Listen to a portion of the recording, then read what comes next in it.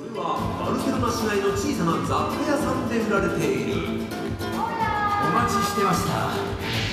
あれこそお守り職人のマルクさん。ヨーロッパ最強のお守りがあるって聞いたんですけど。カガネルのことだね。カガネこれがカガネルさそれは一見何の変哲もない人形のようだが。えちょっと待って。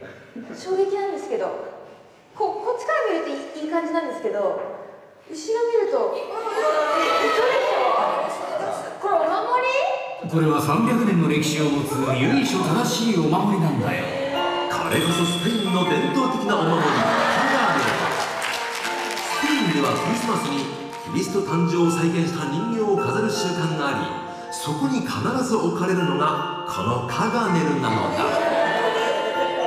昔は人のうんちこそ豊かな実りにつながる最高の肥料だった。故に幸せが実るお守りとされている。でもなんかもうリアルなんだよね。体勢もズボンの下ろし方なんか。またねこの2段っていうのがもう何なのこのカガネルはとても人気でオーダーメイドで作る方も多い。もちろん一つ一つ手作り。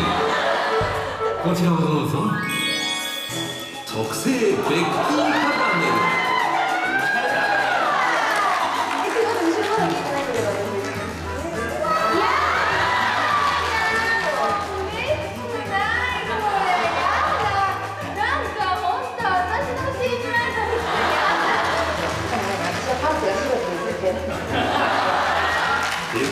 ッキー人形があるとい。うことはもちろん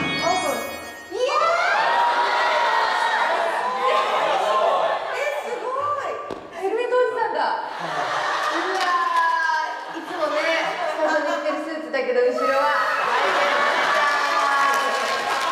これなんか80年代アイドルやってて40代になった人